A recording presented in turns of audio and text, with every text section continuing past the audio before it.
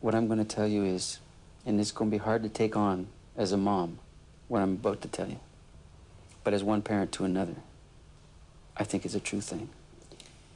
Their capacity to be a family after you're gone is going to derive from how you died. Not of what, Mm-hmm. how you did it. In other words, how human you can be in the face of something that seduces you away from being human Mm-hmm. is the thing that will determine what kind of a family they can be. Mm.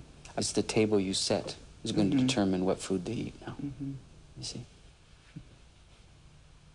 The work for you is trying to decide how to be a parent at a time like this and how to be a spouse at a time like this. You have to learn something that you wish you didn't have to learn. Right? It's how to love somebody as if it's not going to last. Because it's not.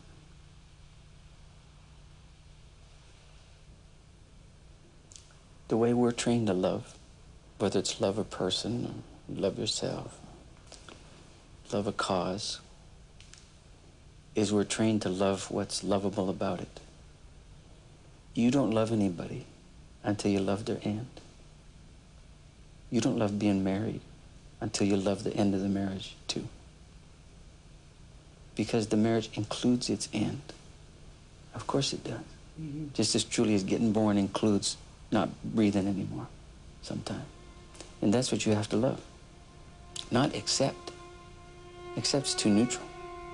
You have to love it. That's really active. You have to say yes to that.